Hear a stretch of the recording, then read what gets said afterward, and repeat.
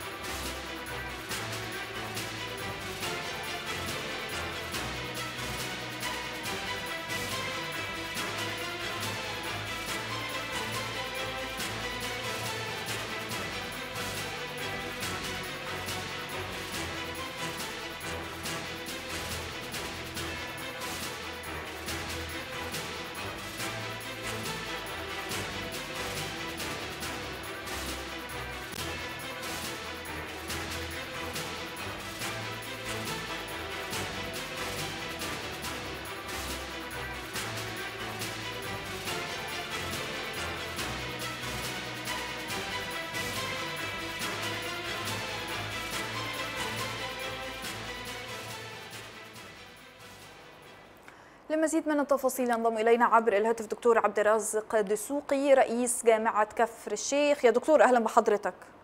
أهلا أستاذة لما واهلا بالساده المشاهدين.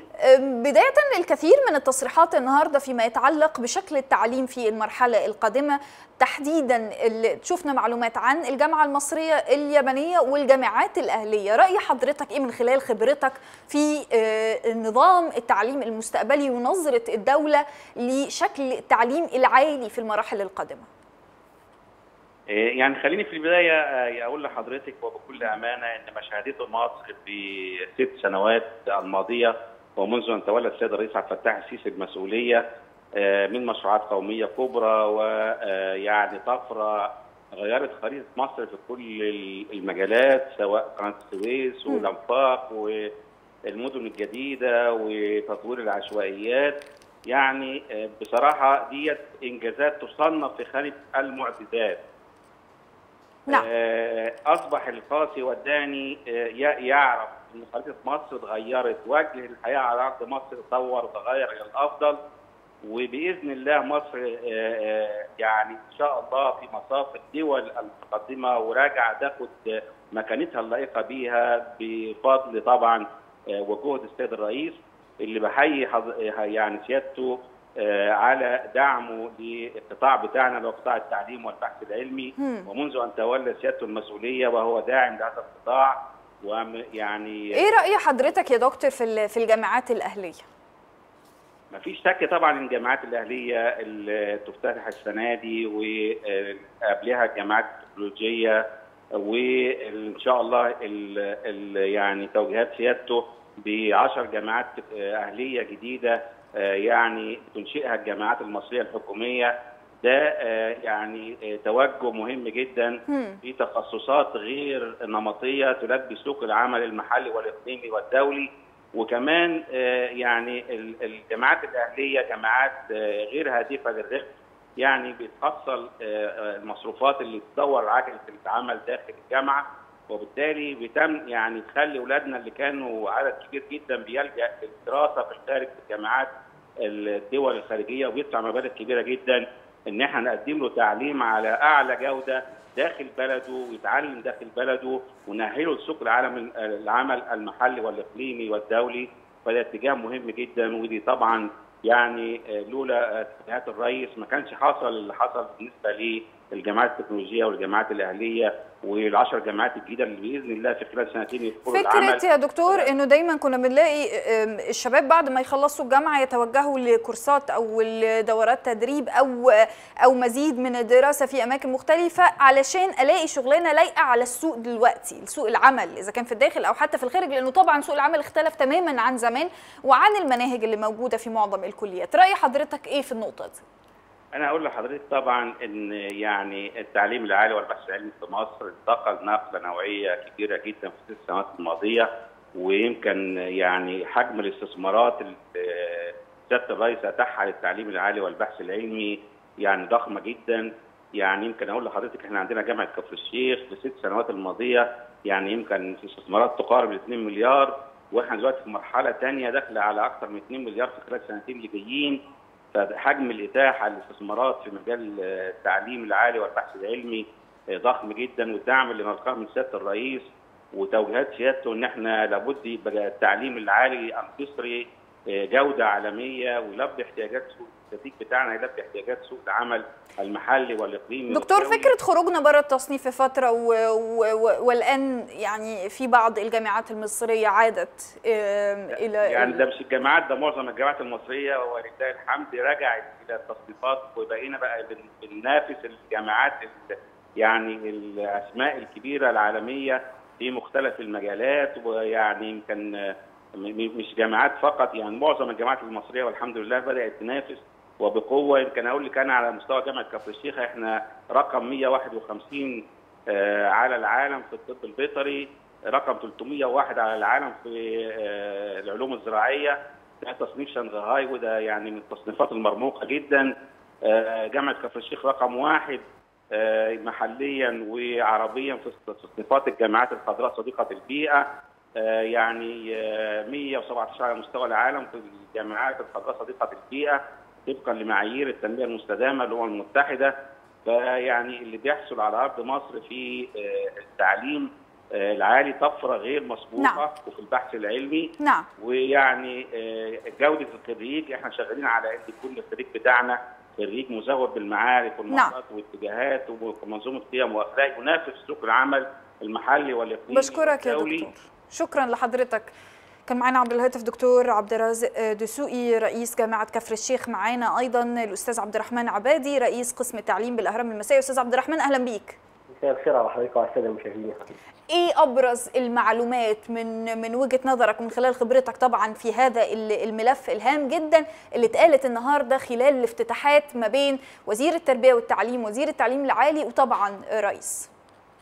خليني بس أقول إن في من أهم الرسائل اللي الافتتاحات أشارت إليها اليوم هي رسالة طمأنة مهمة جدا للمجتمع المصري بأن الدولة عندما الطفرة التي هذا التعليم العالي في المرحلة الأخيرة في السنوات الأخيرة البعض حاول تفسيرها إنها طفرة تستهدف تسليع خدمة التعليم العالي وتحويله إلى سلعة سلعة للقادرين فقط. نعم. رسالة اليوم في المشروعات اليوم لو لاحظت حضرتك أنها شهدت إشارة إلى افتتاح وإلى مشروعات تنتمي إلى الجامعات الحكومية يعني والجامعات التكنولوجية التي اللي هي تستهدف طلاب التعليم الفني والجامعات الأهلية اللي جزء كبير منها هيوجه هيوجه أو الطالب المصري الغير قادر إن كانت الجامعات الأهلية بمصروفات إلا أنها تعتمد مبدأ اتاحه التعليم لجميع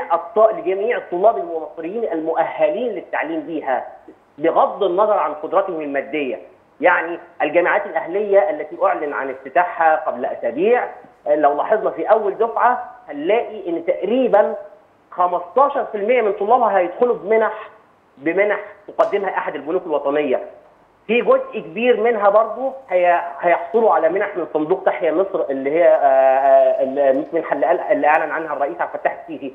إضافة إلى أن هناك توجيهات واضحة بان الطالب الذي يتعثر عن الطالب المصري الذي يتعثر عن سداد رسومه وهو مؤهل للدراسة وهو حاصل على تقدير جيد على الأقل أو على حسب التقديرات اللي هم هيحطوها في في نظام يعني يكون طالب متفوق يا أستاذ عبد الرحمن وده بديهي يعني ما ينفعش طالب مش متفوق تعثر فأساعده.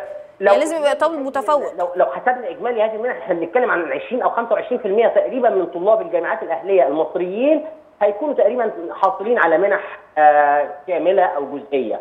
آه طبعا آه الرسائل اللي تضمنها تضمنتها مشروعات اليوم إن إن زي ما في جامعات أهلية بتتعمل وزي ما في جامعات دوليه بتتعمل أيضا هناك توسع وفي تطوير في منشآت التعليم الجامعات الحكومية القائمة حاليا. آه. في توسع في الكليات في الجامعات الحكومية يعني الست الست أعوام الماضية شهدت افتتاح عدد كبير من الكليات قدره يعني زي ما أشار إليه الدكتور خالد عبد الغفار اليوم إحنا بنتكلم عن 490 كلية جديدة تقريبا في مختلف الجامعات الحكومية، الجامعات الحكومية قفزت في ست سنوات من 19 جامعة حكومية إلى 27 جامعة حكومية وفي توسع في المناصب النائية، في توسع في البرامج اللي هي تقدم تتواكب مع طبيعة سوق العمل. طبعا من الحاجات من الإشارات المهمة ومن الرسائل المهمة اللي ضمنتها آه معلومات اليوم اللي عرضها رئيس الوزراء أو اللي عرضها الدكتور خالد عبد الغفار وزير التعليم العالي. آه إن إحنا بن بنقول إن جزء كبير من التوسع في الجامعات الدولية والجامعات الأهلية هو جذب الطلاب المصريين اللي بيسافروا. هم بيهدروا عملة صعبة آه في التعليم خارج مصر. في إشارة مهمة في في هذه المعلومة.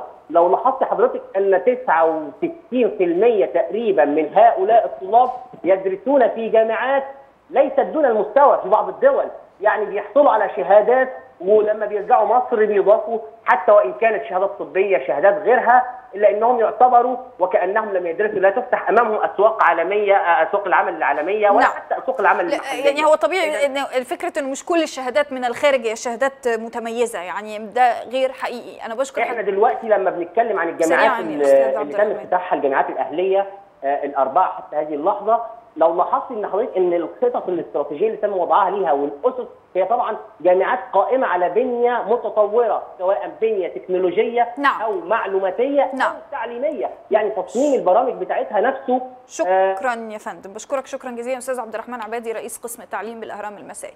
الجامعات الأهلية هي جامعات غير هادفة لربح. الجامعات الأهلية هي جامعات الجامعة الأمريكية في القاهرة على سبيل المثال ده نموذج للجامعة الأهلية. جامعة بتصرف على نفسها علشان تحقق أو تستمر ويكون في استدامة في آه، آه، مستواها ما ننزلش بالمستوى وتحافظ كمان على فكرة إن أنا أقدر أجيب أفرع لكليات وجامعات متميزة ولها اسم بالخارج.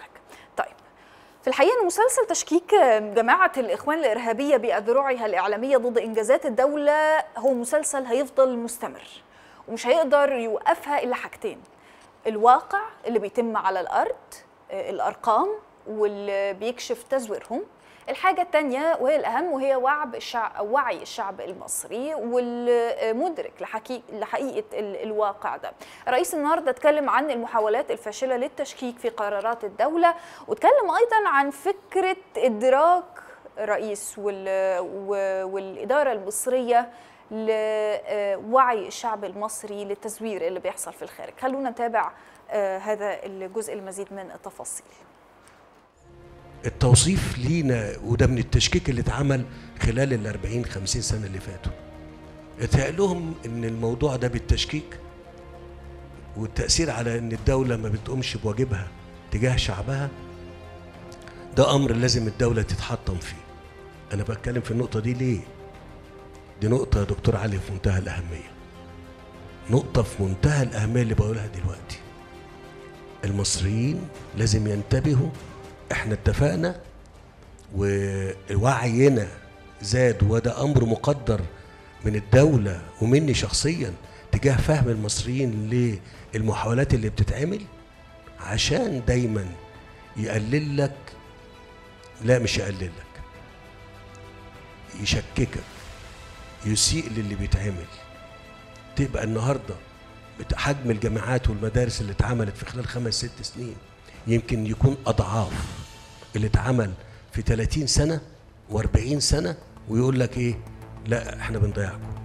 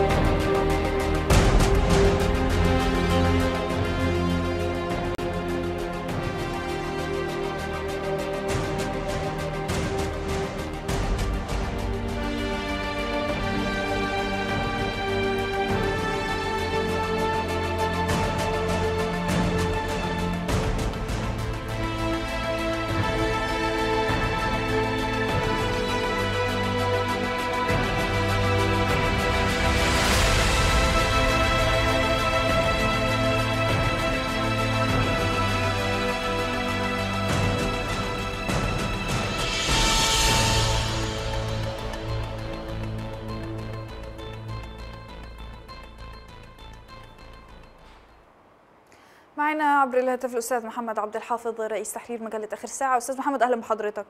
مساء الخير. مساء النور. يعني بالحديث عن مسلسل التشكيك النهارده الرئيس كان له تصريحات هامة في هذا ال- الإطار وإحنا شغالين على هذا الملف. يعني آه، فكرة التشكيك في أي خطوة تحدث على أرض الواقع آم، من زاوية غير مهنية أو حتى لا تتناول الأرقام الحقيقية. رأي حضرتك إيه في هذه النقطة؟ هو بس خلينا لازم نفتكر سنة 2013 إيه اللي حصل في 2013 وعي المصريين عمل حاجتين هيظلوا آه، يعني يعني عالقين في أذهان العالم وعالقين في أذهان قطر تحديدا والإخوان المسلمين.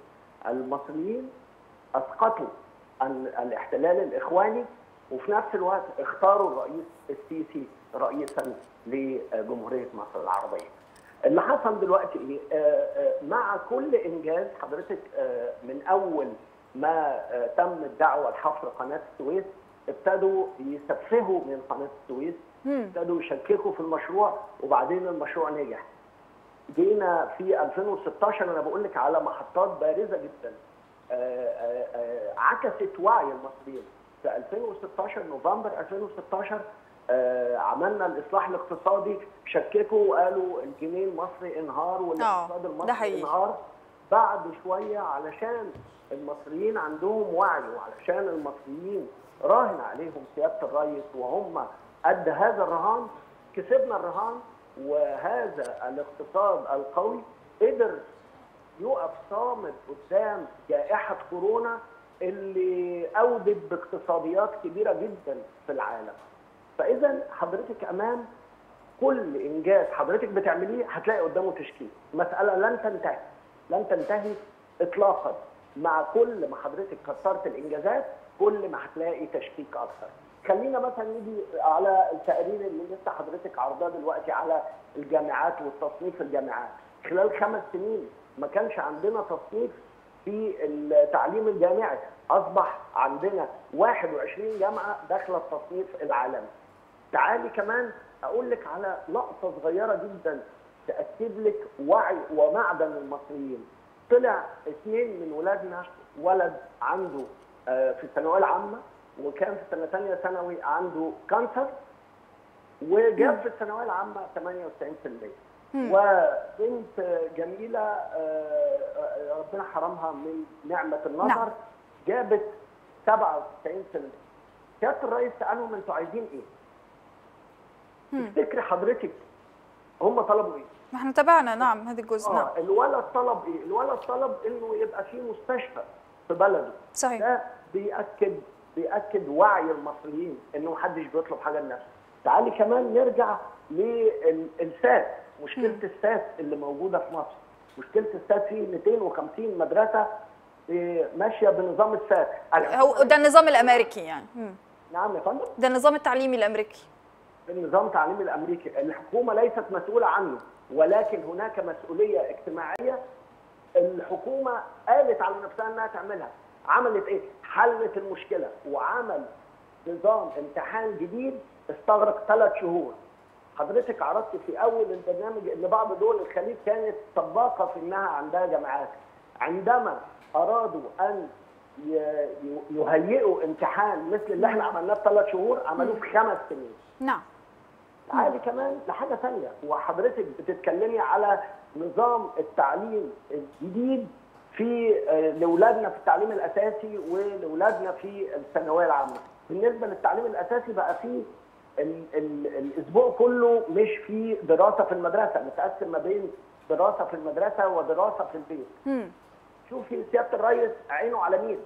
عينه على. أولادنا كمان. مين اللي هيقعد بالولاد دول وهم في البيت؟ ده بعد إنساني واجتماعي هام جدا والحقيقة آه، بقى فيه شكل من أشكال التفكير والعقلانية في اتخاذ القرارات حتى فيما يتعلق بالبعد الإنساني للأسرة المصرية. اشكرك يا أستاذ محمد. شكرا لحضرتك أستاذ محمد عبد الحافظ رئيس تحرير مجلة آخر ساعة. تصدر اليوم على ترند تويتر هاشتاج السيسي مسيرة عطاء وده بيعتبر رسالة من ضمن الرسائل المهمة. اللي بتأكد وعي المواطن وفشل كل محاولات التشكيك اللي بتقودها جماعة الشر وأعوانها في القرارات التي أو اللي بتتخذها الدولة. فعلا وعي المواطنين وقف ولا يزال يقف حائط صد قوي أمام محاولات إسقاط الدولة المصرية. الحقائق والدلائل والأرقام على الأرض وعلى أرض الواقع بتؤكد أن الدولة تمضي في مسيرة التنمية ولن تقف ولن تنظر خلفها.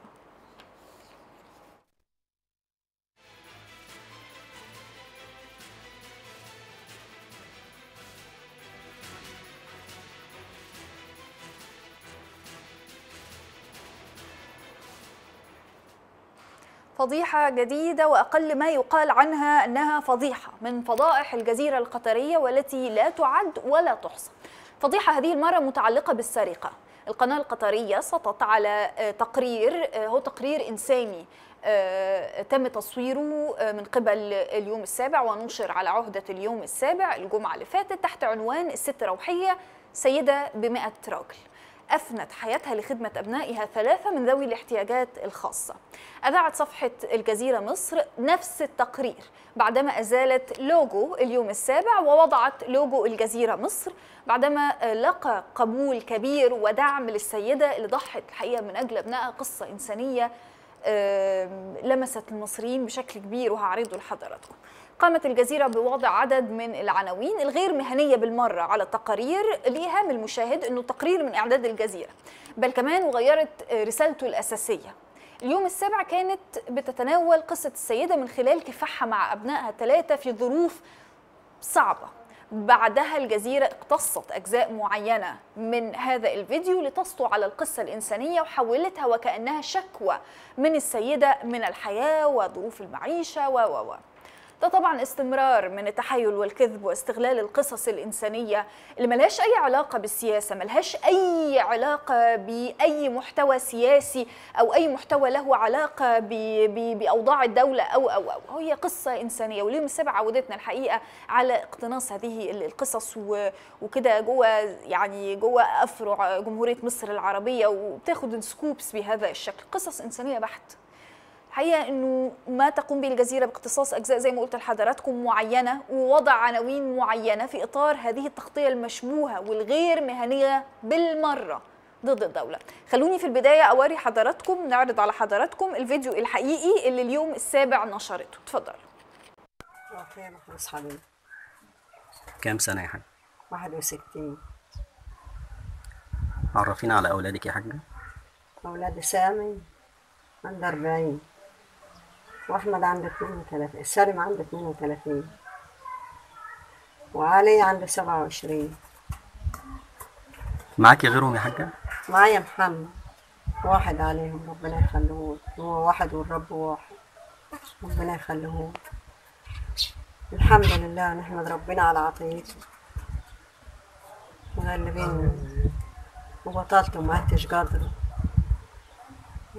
كله بتاع ربنا ما نغسل لهم ونعمل لهم كل حاجة. الحمد لله. ربنا يعينك عليهم يا حاج. الحمد لله. بيغلبوك يا حاجة ولا بيسمعوا كلامي؟ غلبوني طبعا. شوية كده وشوية كده شوية غلبوني وشوية يقعدوا قاعدة فرحهم حرصاهم واقفة على حالي قاعدة بيهم ماشية وقاعدة بيهم وأقفة بيهم. راح الحمام حرصاه ماشية هنا حرصاه ومشوا مغلبين والعيل يطلع من فوق السطح ونط في الشارع الشارع؟ آه الحمد لله. ربنا يعينك عليهم يا حاج حمل تقيل علي. ثلاثة مش واحد ولا اثنين ثلاثة. نحمد ربنا اللي عطاهولي وادهولي حمل جاوب ما تزعليش يا حاجة انت ليك الجنة إن شاء الله. محدش ليه فلوس حاجة عطيت ربنا نرجع نحمد ربنا اللي أنا مدينا ربنا مدينا الصحة لحد دلوقتي يمكن يجري خاطرهم. محدش عارف ربنا مقوينا عليهم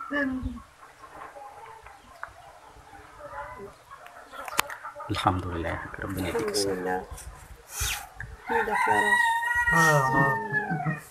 ومن لهم ياكلوا يشربوا. وقاعدة بيهم يغسل لهم هدومهم ونظفوهم هو ال- الأولاني ده سامي يا حاجة؟ بيعيط هو؟ آه الأولاني سامي بعيط اهو بيعيط صعبان عليه. بيعيط, بيعيط ليه هو؟ صعبان عليه الموقف. صعبان عليه اللي إحنا فيه ما عمرناش حد عمل لنا كده ولا عمرنا عملنا كده. وأنا الحمد لله مش عايزة حاجة من حد ولا محتاجة حد من حد. وقابلتنا ظروف أصعب من كده. الحقيقة إنه الفيديو يعني فيديو إنساني جدا ست تتكلم عن ظروفها وفي الآخر بتقول مش عايزة حاجة من حد وواجهتنا ظروف أصعب من كده. يعني خلونا نروح نتابع الفيديو جزيرة. هو ال- الأولاني ده سامي يا حاجة؟ بيعيط هو؟ آه الأولاني سامي بعيط اهو صعبان عليه. بيعيط, ليه هو؟ صعبان عليه الموقف. صعبان عليه اللي إحنا فيه عمرناش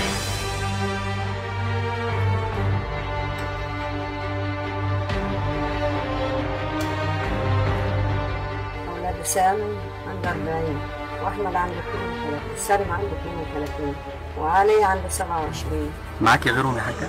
معايا محمد. واحد عليهم ربنا يخليه هو واحد والرب واحد. جوزي سابنا ومشي في مصر قاعد في مصر ما أعرفش عنه حاجة ولا بيبعت لنا ولا سابكوا بيسأل. خلاص يعني آه سابنا كده وقاعدين ولا بيبعت لنا ولا بيسأل فينا وأنا رايحة جاية يوم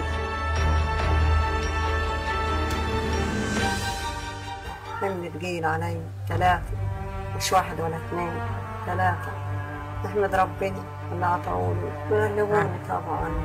شوية كده وشوية كده شوية غلبوني وشوية يقولوا قاعدة فرحهم حرصاهم واقفة على حالي قاعدة بيهم ماشية وقاعدة بيهم واقفة بيهم راح الحمام حرصاه. ماشية هنا حرصاه. وماشية مغلبيني والعيل يطلع من فوق السطح وينط في الشارع رجع نحمد ربنا اللي أنا مديني ربنا مديني الصحة لحد دلوقتي يمكن يجي فاطرهم محدش عارف ربنا مقوينا عليهم تشويه وتشهير وتزييف بظروف إنسانية بحتة لا شغل مهني ولا شغل إنساني ولا له أي علاقة بالمهنة. فيديو إنساني بحت. ست بتتكلم عن ظروف معيشية صعبة و... و... وربنا رزقها بثلاث شباب من ذوي الاحتياجات الخاصة. ناخد الفيديو نحوله لفيديو آه، ضد دولة وفيديو آه، بيشتكي من أوضاع الدولة. مفيش أي رسائل سياسية من وراء هذا الفيديو. ولكن اللي حصل إن إحنا سرقنا الفيديو حطينا اللوجو ونزلنا بالموسيقى ونزلنا بال hashtags أو بال... بال... بالسترابات. اللي ملهاش أي علاقة بفيديو إنساني. تشهير تزييف تشويه لواقع ولمادة مصورة أصلا على عهدة يعني مؤسسات أخرى ولكن شغل غير مهني وغير إنساني وبالبلدي هو شغل بلدي بشكل كبير. طيب خلونا نستقبل عبر الهاتف دكتورة سوري عثمان أستاذ الإعلام بكلية الإعلام بجامعة القاهرة دكتورة أهلا بحضرتك. أهلا يا أستاذة أهلا بحضرتك رأي حضرتك إيه يا فندم في اللي شفتيه؟ بصي يا أستاذة لما اولا يعني أنا عايزاكي تهدي لأن إحنا فقدنا القدرة على الاندهاش من ال... من الأعمال المتكررة غير المهنية اللي بتقوم بيها العديد من القنوات الفضائية مش بس قناة الجزيرة فأنا يعني ال- اللي اتعرض قدام حضرتك ده يعني إحنا لما بنيجي ندرس في كليات الإعلام عندنا للولاد بندرس لهم أخلاقيات المهنة وكان أول حاجة بندرس لهم في الأخلاقيات يعني ما يتعلق بال plagiarism أو. إن أنا أنقل حاجة مش بتاعتي واحط عليها اسمي نعم. فببساطة كده إحنا كنا بن... بنقول ده ABC الشغلانه يا دكتورة واحد اتنين نعم. يعني ده ABC الشغلانه ده ده في. أولى جامعة ده بالظبط. بيدرسوها يعني إحنا إحنا بنتكلم في إن إن الشخص اللي بب- ببساطة كده وبالبلدي برضه الشخص اللي بيعمل كده يا جماعة حرامي طبعا بس فهي دي ال- القصة في كده فالناس اللي عملت ال... هذا ال- العمل غير المهني اللي حضرتك عرضتيه ده ببساطة حرامية. بس فاحنا يعني ما ما يعرفوش أصول المهنة ما يعرفوش يتعاملوا إزاي. مع آه، مادة صحفية ما بيعرفوش فكرة أي حاجة. الشحن ف- يعني هذا الفيديو ملوش أي علاقة بالأوضاع السياسية للبلد ملوش أي علاقة بالأوضاع المعيشية فكرة إن أنا أشحن مشاهد بمؤثرات خارجية يعني إضافة الموسيقى على إضافة بعض ال- السترابات ال- الجمل اللي ملهاش أي علاقة حتى بحديث هذه السيدة يعني ده تفسيره إيه يا دكتور؟ أستاذة لما اللي إحنا بنتكلم فيه دلوقتي اللي هو إن أنا إزاي أقدر استغل الظروف إزاي ان أنا أقدر اوظف اي مضمون من اي نوع لخدمة اغراضي. هي دي النقطة.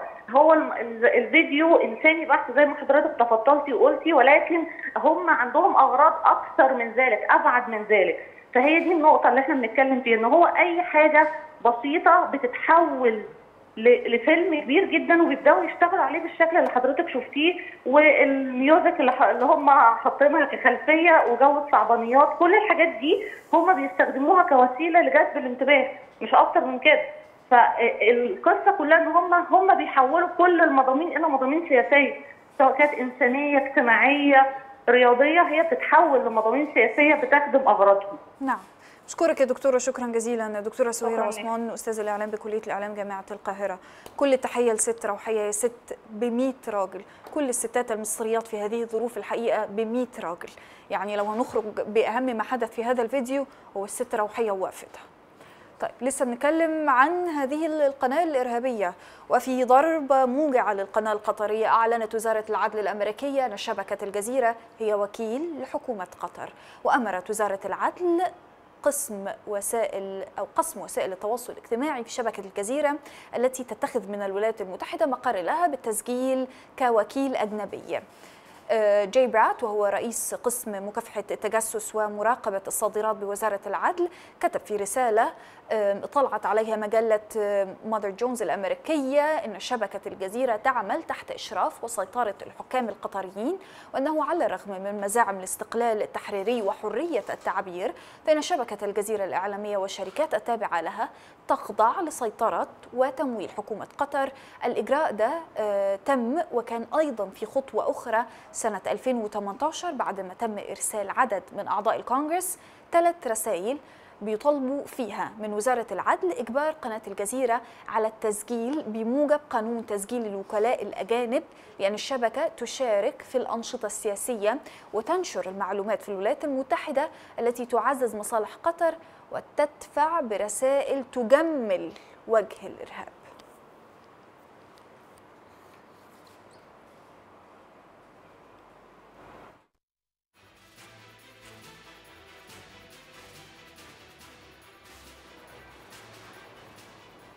خلونا نتحول لملف آخر وملف التصالح ومن أبرز وأهم الملفات المحلية دلوقتي وإحنا بنتابع مع حضراتكم هذا الملف يوما بيوم بكل مستجداته النهارده المراكز التكنولوجية في المحافظات شهدت توافد كبير من المواطنين بيقدموا على طلب التصالح وبيسددوا جدية التصالح اللي هي بتعتبر 25% من قيمة المخالفة.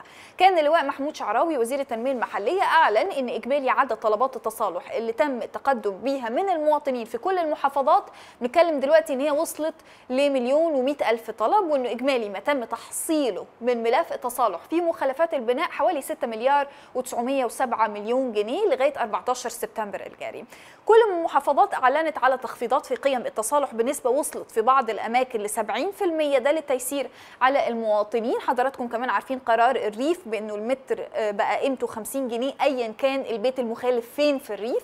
وفي نحو بنتكلم عن 320 مركز تكنولوجي تم تخصيصه في المحافظات بيتلقوا طلبات التصالح من المواطنين وده في كل مدينة وفي كل حي على مستوى الجمهورية إلى جانب كمان الوحدات المحلية. خلونا نستقبل عبر الهاتف دكتور ممدوح غراب محافظ الشرقية. يطلعنا على آخر تطورات التصالح في الشرقية تحديدا. ست محافظ أهلا بيك. مساء الخير يا فندم على حضرتك وعلى السادة المشاهدين. فندم. الشرقية يا فندم كيف هي الأخبار والأرقام فيما يتعلق بملف المصالحات؟ والله يا فندم في إقبال جيد وإحنا دلوقتي تخطينا 70000 طلب ودول بيمثلوا حوالي 40% من حجم المخالفات اللي إحنا بنأمل إن جميع المواطنين يتقدموا 70% يا دكتور؟ نعم يا فندم ده إجمالي 70% تقريبا من حجم المخالفات. حضرتك ذكرت؟ من دول لا دول بيمثلوا 40 40 من حجم نعم المخالفات. 40 نعم نعم. آه. و... آه. وطبعا في إقبال جيد جدا. يعني إحنا دلوقتي عدد المتقدمين في اليوم بيتخطى ال 2100 2200 مواطن آه متقدمين. آه الأهالي أعتقد إن الإقبال ده بيؤكد إن هم الأهالي استوعبوا تماما أهمية القانون. وإن ده بي بيعمل لمصلحتهم في الأول وفي الآخر بجانب التسهيلات والتيسيرات اللي تمت بناء على تعميد دولة رئيس الوزراء. فأنا بتهيألي الأمور إن شاء الله معظم الناس بتتقدم قبل انتهاء دكتور إلى أي مدى التسهيلات وفيما يتعلق بسعر المتر اللي اتغير في الريف ده فرق مع المواطنين؟ طبعا في تحديدا في قيمة المخالفات الفلوس طبعا. اتفضل يا دكتور. آه فرق ال 50 جنيه فرق فعلا يا فندم. بالنسبة للمواطنين وأعداد كبيرة جدا تقدموا لأن حضرتك عارفة عدد المخالفات في الريف عددها بيبقى كبير. وأنا بقول لحضرتك إن ده سعر جيد جدا جدا والتقسيط على ثلاث سنوات بدون فوائد. والنهاردة كنت بمر على المراكز التكنولوجية في مركزين وامبارح عديت على مركزين أو ثلاثة يعني عديت على خمسة وابتديت أستطلع رأي المواطنين. آه. وإن شاء الله بكرة إن شاء الله عندنا لجنة آه لمراجعة برضه الأسعار في بعض المناطق. لو آه تم التوصل لأي تخطيطات ثانية لصالح المواطن هنعملها قرار بس كل آه، ما يتعلق بعملية إن أنا أنزل أشتغل على العرض على الأرض فيما يتعلق بالبناء المخالف ما عدا طبعا اللي ما عليهوش تصالح تصالح متوقف. يعني أنا في مرحلة إن أنا بستقبل ورق من الناس بستقبل المصالحات من الناس لغاية نهاية المهلة. صحيح يا فندم إحنا في مرحلة استقبال أوراق. حتى الأوراق يا فندم مجرد صورة القراءة تكفي. أفتح هو مستند. يقول أنا حجم المقدمة عندي قد كذا بيتم تقدير القيمة طبقا للكلام اللي هو بيقوله. وبعد كده هو دولة رئيس الوزراء اصدر تعليمات إن مد فترة استكمال الأوراق لغاية 30 11 نعم. ان شاء الله آخر شهر 11 فإن شاء الله آه، آه، كل التجهيزات موجودة. برضه المراكز التكنولوجيه مش بس بقينا نستعمل في المراكز التكنولوجيه كمان في الوحدات المحلية عشان نسهل على أهلنا في. وسعتم يا دكتور في أماكن الاستقبال ومواعيد العمل علشان يكون في وقت أطول للمواطنين بالتقدم. أنا عندي المراكز التكنولوجية بتقفل الساعة 10 بالليل يا فندم في معظم الأماكن. و- آه، وعاملين كل التجهيزات بحيث إن المواطن يقدر في وقت يتقدم فيه. وأعتقد إن آه، لما آه، مدينا ساعات ال- ال- التقديم أعتقد إن الزحمة قلت جدا والأعداد قلت في المراكز التكنولوجيه ولما فتحنا الوحدات المحلية كمان نعم. استقبال ال- الطلبات برضو قلل الضغط في الاماكن وده اللي أنا شفته النهارده بالمرور على أبو كبير وهي والزقازيق آه، فإن شاء الله إحنا بنأمل إن الأمور تبقى جيدة وإحنا موجودين نعم. ومتابعين مع أهلنا عشان نسهل لهم كل امور إن شاء الله بشكرك شكرا جزيلا سياده المحافظ الدكتور ممدوح غراب محافظ الشرقية خلونا نتكلم عن ملف آه، جهود الدولة آه، لسه بنتكلم عن التعديات والملف التصالح اللي مفتوح دلوقتي. والحقيقة آه، الدولة بتحاول توقف نزيف. نزيف كان على مدار سنوات عديدة خلف وراءه تعديات على الأراضي الزراعية لا حصر لها. فكرة هناكل منين؟ يعني بهذا إحنا 100 مليون مصري. هناكل منين؟ والجائحة الأخيرة على سبيل المثال جائحة كورونا أثبتت للعالم كله أنه لازم تكفي الداخل. مهما كان بتستورد وعندك طاقة إن أنت تستورد و ولكن جائحة بسيطة أنا في إمكاني على سبيل المثال كدولة إن أنا أستورد ولكن كله مغلق طرق مغلقة السفن مغلقة يعني ما فيش طريق ما فيش حد بينقل حاجة. جائحة جت آه، في سنة من السنوات عملت كده. كان في فترة طويلة والحقيقة ما زال في تهديد قوي جدا لرقعة الزراعية في مصر وده الهدف كله من ملف التصالح. الدولة فعلا جادة في هذه ال- الفترة إن أنا أقنن أوضاع الناس إن أنا أوقف النزيف اللي بيهدم ثروتنا الزراعية. هذا التصدي للتعديات على الأراضي الزراعية هي خطوة آه، بتحاول فيها الدولة ونجحت بشكل كبير لغاية دلوقتي آه، بعد أن كانت متفاقمة آه، بأرقام آه، الحياة تخط في فترة حكم مرسي على سبيل المثال ودي كانت على حسب التصريحات والأرقام اللي موجودة كانت من أكبر الفترات اللي شهدت آه، تعدي على آه، الأراضي الزراعية تعدي وصل ل 500 فدان أسبوعي بشكل أسبوعي كان في تعدي على 500 فدان زراعي. بل وإن تقرير كان صادر من وزارة الزراعة من فترة بيأكد أن مصر خسرت أجود آه، الأراضي الزراعية في عهد حكم الإخوان الإرهابية. بلغ إجمالي المساحات اللي تم التعدي عليها حوالي 362 ألف حالة تعدي بمساحة 15 ألف فدان. إحنا بنتكلم على أرقام مهولة. بنتكلم أنه آه، زي من تصريحات صدرت علشان أستصلح أرض للزراعة في الصحراء بتكلف الإيراد الواحد من 150 ل 200 ألف جنيه. ففكرة التعدي ده فعلا فعلا يعني آه، كان له أضرار أكبر من جسيمة على فيما يتعلق بالداخل المصري. خلونا نستقبل عبر الهاتف دكتور أشرف كمال أستاذ الاقتصاد الزراعي بمركز البحوث الزراعية. دكتور أهلا بحضرتك. أهلا بحضرتك وبالمشاهدين الكرام. دكتور إيه رأي حضرتك فيما يتعلق بالأراضي الزراعية اللي تم التعدي عليها في فترة قصيرة؟ يعني يمكن رئيس الوزراء كان اتكلم إن من السبعينات والثمانينات إحنا عندنا هذه ظاهرة التعدي على الأراضي الزراعية ولكنها زادت بشكل كبير جدا آه، من بعد 2011 وكان نزيف حقيقي. رأيك إيه دكتور وأثره دلوقتي علينا؟ ده واقع في قضية أمن قومي بامتياز هذا ملف شائك ومتعدد الأبعاد بدأ التع... يعني نشير في عجالة تاريخيا. القطاع العقاري في مصر نما تاريخيا على حساب القطاع الزراعي. المصري. يعني لك أن تعرفي أن ميدان التحرير وشارع البستان باب اللوق كانت أجود بساتين مصر فيما سبق. كان ذلك جائزا تاريخيا. لكن عندما حدث ذلك منذ حوالي نصف قرن منذ السبعينيات تلك كانت عملية انتحار مجتمعي لكن هذا الملف الشائك القيادة السياسية وضعته نصب عينها ولم يستطع أحد أن يقتحم هذا الملف خلال الفترات نعم. السابقة. دعيني أضرب لحضرتك مثال واضح. بحيرة المنزلة يعني أكبر البحيرات في مصر بعد بحيرة ناصر كانت مساحتها حوالي 750 ألف فدان. وصلت الآن لما يقل عن 100 ألف فدان. لكن تم اقتحام هذا الملف وبدأت الكراكات في تنظيف البواغيز وفي عملية التطهير وقواتنا المسلحة الباسلة داخلة في هذا الملف بامتياز وهناك استعادة من مبيا الأراضي في بحيرة المنزلة. هذا مثال فقط. أما منذ سا يعني ثورة 2011 فحدثي ولا حرج. نعم. تجاوزات يعني شديدة في هذا الملف. يعني وصل التعدي على الأراضي الزراعية في مصر خلال الثلاثين سنة الأخيرة إلى ما يتجاوز 400 ألف فدان طبقا للتقديرات الرسمية والتقديرات الغير رسمية تتجاوز هذا الرقم بشكل كبير. وهناك تقديرات أنه منذ ثورة 2011 وصلت التعديات طبقا للتقديرات الرسمية 90 ألف فدان والتقديرات غير الرسمية تج- تتجاوز ذلك أيضا. في عهد الإخوان طبعا يعني كان هناك آه، تجاوز شديد في هذا المجال. دكتور عايزه أن اسال حضرتك عن فكرة تزال في حالة السيولة ولم يكن الاستقرار الأمني الذي نشهده الآن. المقارنة الآن بين الزراعية بامتياز. في الأساس يا دكتور لو قارنا بين الأرض الزراعية في الأساس اللي هي كانت أرض زراعية وفكرة إن أنا أدفع أموال باهظة في استصلاح صحراء للزراعة ده فرق في الجودة. أم، هذا فارق شاسع. سيدتي هذه قضية هامة التي أشرت إليها. هذا فارق شاسع.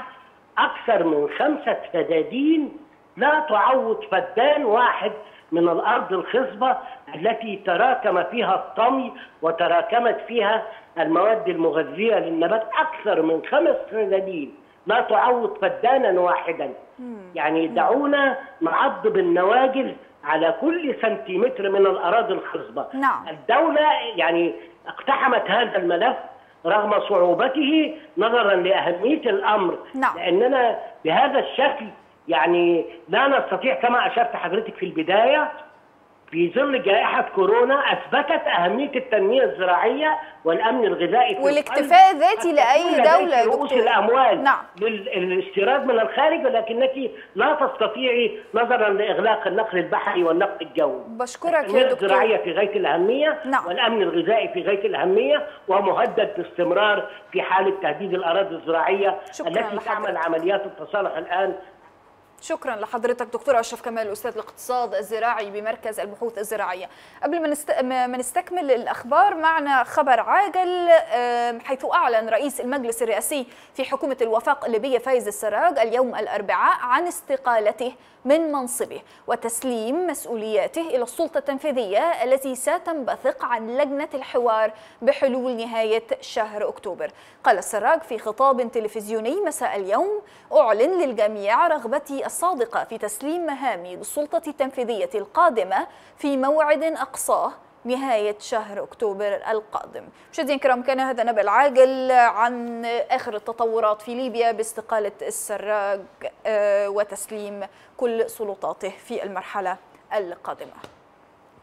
نتحول مرة أخرى لأهم وأبرز الأخبار ولليوم الثالث على التوالي يمثل القطري ناصر الخليفي رئيس نادي باريس سان جيرمان الفرنسي ومجموعة بي أن الإعلامية والأمين العام السابق للاتحاد الدولي لكرة القدم الفرنسي جيروم فالكا أمام القضاء السويسري في قضية منح. بي أن سبورت حقوق البث التلفزيوني لنهائيات كأس العالم 2026 2030 مقابل رشاوى اعترف الأمين العام السابق للفيفا جيروم فالكا بأن القطري ناصر الخليفي حصل على حقوق البث التلفزيوني لنهائيات كأس العالم 2030-2026 لصالح بي أن مقابل رشوة عبارة عن فيلا في سردينيا. وإنه طلب من الخليفي تمويل شراء الفيلا في جزيرة سردينيا وكان إيجابي عندما طلب منه تمويل لشراء الفيلا. أظهرت الوثائق أن الخليفي اشترى الفيلا من وسيط عقاري وحصلت بي إن سبورت على حقوق البث بعد شهر وأظهرت وثائق فيفا أنه بي إن سبورت حصلت على حقوق البث من دون منافسة مقابل 480 مليون دولار. طيب خلونا نستقبل عبر الهاتف الناقد الرياضي أستاذ أيمن بدر رئيس تحرير أخبار الرياضة. أستاذ أيمن أهلا بحضرتك. أهلا وسهلا بحضرتك والسادة المشاهدين ملف الرشوة المتعلق بشكل رئيسي آه، بقطر والفيفا وكل ما يحدث إذا كان على بداية من استحواذ أصلا على آه، آه، على لعب كأس العالم في قطر أو حتى وصولا لحقوق البث رأي حضرتك إيه في اللي بيحصل ده؟ هو الحقيقة ال- المحاكمات اللي بتجرى في سويسرا آه، هي حلقة من ضمن حلقات كثيرة آه، لقضايا فساد آه، طبعا بيقودها النظام القطري وأحد رجاله هو السيد نصر الخليفي اللي منذ يومين الحقيقة التف الحبل حول عنقه بعد اعترافات الفرنسي آه، جيروم فالك الأمين العام السابق للفيفا بأنه تلقى بالفعل أموال وتلقى رشا من آه، نصر الخليفي. يمكن هو حاول آه، يعني يزين الأمر بشكل أو بآخر وبيقول ان أنا طلبت مساعدات مالية من نصر الخليفي ولكن ال- الرسائل التي تم ضبطها على يعني هاتفه الخاص والمتصلة برسائل لزوجته بتؤكد إن هو آه، يعني في علاقة آه، ما بينه وبين نصر الخليفي قدر إن هو يوفر له آه، عدد من المبالغ آه، يمكن آه، حوالي مليون و250 ألف دولار تم دفعها لثلاث دفعات. غير آه، ما تفضلتي حضرتك وأشرت إليه في بداية التقرير بإنه آه، أجر له أو اشترى له آه، فيلا في سردينيا. آه، بلغت القيمة التقديرية اللي وضعتها آه، المحكمة آه، السويسرية آه، آه، برئاسة ال- القاضي ستيفان آه، ال- حوالي 2 آه، مليون و300 ألف طب أنا عايز أسأل حضرتك يا أستاذ إيمن بعتذر على المقاطعة هل أي حكم ممكن يكون له علاقة أو تتوقع؟ يعني بما إنه unethical أو غير أخلاقي بالمرة ما حدث إنه ما يكونش فيه منافسة آه، تحديدا لبث مباريات هامة كأس العالم ممكن يتم سحبه مثلا بي ان سبورت ولا ده أمر مستبعد؟ هو طبعا آه، إذا آه، ثبت إدانة آه، نصر الخليفي ده بالطبع هيدين الشركة اللي بيمثلها هو رئيس طبعا شبكة بي إن سبورت ورئيس طبعا نادي باريس سان جيرمان. وتاثيره على الحصول على حقوق البث المباشر بطريق غير مشروع أكيد بيعيد فتح هذا الملف من جديد لأنه آه، أعتقد أن الضغوط الجماهيرية والإعلامية اللي تابعناها من خلال عدد من الصحف يمكن طبعا آه، آه، فرانس فوتبول وليكيب في فرنسا بتتابع بشكل دقيق المحاكمات النهارده ويعني حتى آه، أوردت كيف حاول آه، نصر الخليفي التلاعب آه، في آه، مواجهة المحكمة في الجلسة اللي كان بيواجه فيها الاعترافات اللي ادلى بها نعم. آه، جيروم فالك. وبالطبع آه، دي هتبقى في ضغوط كبيرة جدا على آه، الفيفا. آه، يعني حتى النهارده آه، ال- مع المحاكمات آه، تزامنت مع تصريحات قوية جدا لإنفنتينو رئيس الفيفا. نعم. يؤكد فيها أنه آه، الفيفا لن تقبل آه، مطلقا بأي فساد. وقال حتى تعبير كده أنني توليت آه، آه، الاتحاد الدولي لكرة القدم وكانت هناك أموال بالملايين تتسرب وتتطاير لا نعرف مصيرها. الآن كل دولار معروف آه، من أين يأتي وأين نعم. يذهب آه، في آه، حوكمة أو في عملية دقيقة لأموال لعبة كرة القدم التي نعم. تعد من الصناعات الكبرى في العالم ليس فقط في مجال الرياضة ولكن صناعة من الصناعات طبعا. التي تقوم عليها العديد من المؤسسات العالمية ويعمل فيها عشرات الملايين أستاذ أيمن بشكر حضرتك شكرا جزيلا على وجودك معنا ناقد رياضي أيمن بدر رئيس تحرير أخبار الرياضة الحقيقة اعتادت الجماعة الإرهابية على الاستمرار في دعوات العنف والفوضى لتدمير الاستقرار في مصر لمن وعي الشعب دائما حائط صد ضد تلك المحاولات. أخيرا الجماعة وضعت فشل فوق الفشل باللجوء لكروت محروقة كروت فاشلة للتحريض ضد الدولة والتشكيك في قراراتها. ولكن اللجوء لمثل هذه الكروت خير دليل على فشل الجماعة. مزيد من التفاصيل في هذا التقرير. دأبت جماعة الإخوان الإرهابية على إشعال الفتن بالأكاذيب وترويج الشائعات في محاولة يائسة للدفع نحو نشر الفوضى والتحريض عليها. لعل وعسى تحقق أي منها مراد أتباع الشر ويحدثوا نوعا من زعزعة الاستقرار في مصر. ومع الفشل المستمر لمخططات الجماعة الإرهابية بسبب يقظة الشعب المصري والذي دائما ما يقف حائط صد منيع أمام أكاذيبهم لجأت الجماعة لاستخدام الفاشلين. أمثال الهارب محمد علي ومن على شاكلته للتحريض ضد الدولة والدعوة للعنف.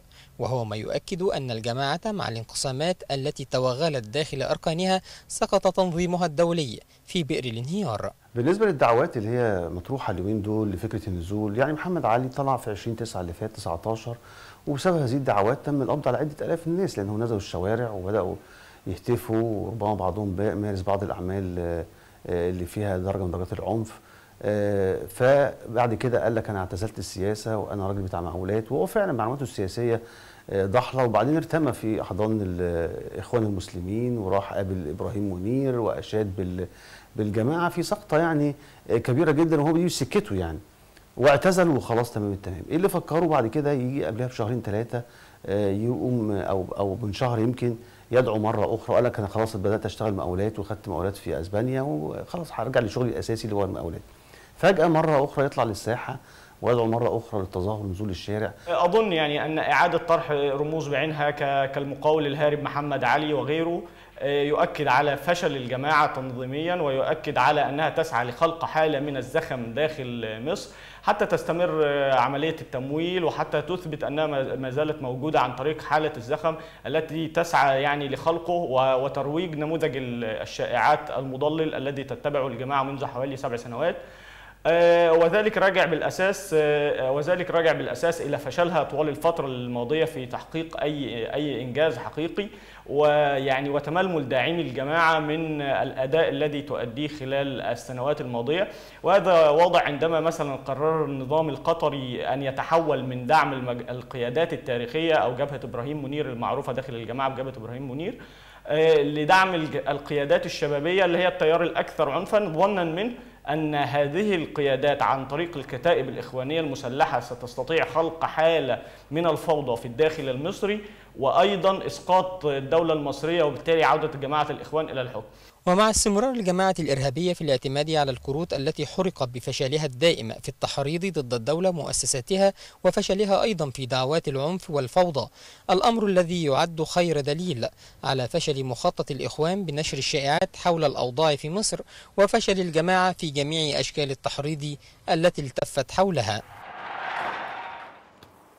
خلونا نبدأ أول الفقرات. ولا شك انه تعيين إبراهيم منير في منصب القائم بأعمال المرشد العام للإخوان كان بمثابة الزلزال اللي هيدفع إلى تمرد سيكون الأكبر في تاريخ التنظيم الإرهابي حسب محللين كتير بين جيلي الوسط والشباب. فكيف ستكون سياسات هذا التنظيم الإرهابي؟ وترى ما هي المصالح المشتركة مع المنظمات الدولية المشبوهة؟ وفيما يتعلق بالجناح العسكري في الفترة المقبلة. ما هو مستقبل تنظيم الإخوان؟ خصوصا الشباب الإخوان الفاقدين الثقة تماما في القيادات الحالية والقيادات الجديدة.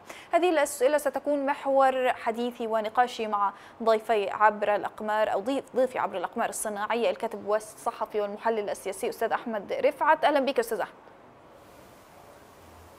أهلا مساء الخير أستاذ الاء أهلا يا فندم. ينضم أيضا إلينا عبر سكايب الأستاذ محمود بسيوني الباحث بالمركز المصري للفكر والدراسات. أستاذ محمود أهلا بيك. أهلا وسهلا بحضرتك. طيب خلوني أبدأ حديثي مع أستاذ أحمد. أستاذ أحمد خليني أبدأ معك ما يعني بنتابعه وبكثافة هذه الفترة وهي فكرة تبادل الاتهامات بالعمالة وبالخيانة بين أجنحة الجماعة.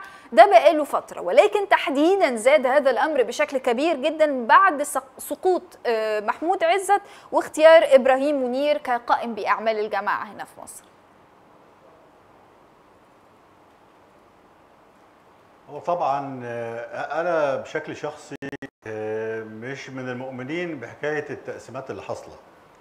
لأن إذا آمنا بيها فبننسف الفكرة الأساسية اللي إحنا مؤمنين بيها كلنا إن خيوط الجماعة وخطوطها منتهية عند جهات خارج الجماعة.